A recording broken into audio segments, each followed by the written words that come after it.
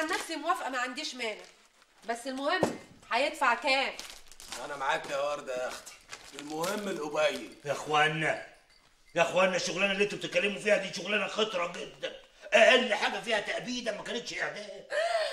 تف من بقك يا ولا فلا الله ولا فالك ولعلمك بقى أنا سمعت إن في ناس كتير قوي في المنطقة هنا بيشتغلوا في نفس الشغلانة. وبعدين يعني أنت يعني يا عم هريد يعني عجباك العيشة اللي إحنا عايشينها دي.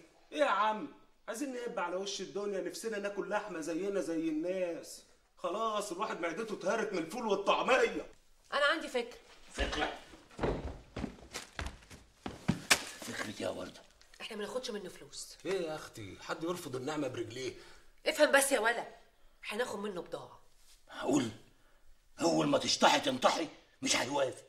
إن شاء الله على موافق يا أخوي. يروح في 60 داهية ويجي مليون غيره. طب وهنعمل إيه بالبضاعة دي يا أختي؟ هنتاجر ونبيع ونشتري. يا نهارك أسود ونيل قول يا وردة عايزين على آخر الزمن نتاجر في المخدرات ما إحنا بنخزن يا أخوي ده اسخم ودل. أقول لك إيه إذا كنا هنسمع كلام الراجل اللي اسمه أبو النواس ده يبقى ناخد فلوسه خلاص لا. أنتوا عايزين تقبوا لفوق ولا نفضل طول عمرنا عايشين في البدرون؟ اسمعوا من هنا ورايح اللي أقوله هو اللي هيمشي. هات جوز جنيهات يا ولا معيش يا أختي ما أنت عارفة اللي فيها. اوعى إيدك هات. ماشي ما يغلوش عليكي.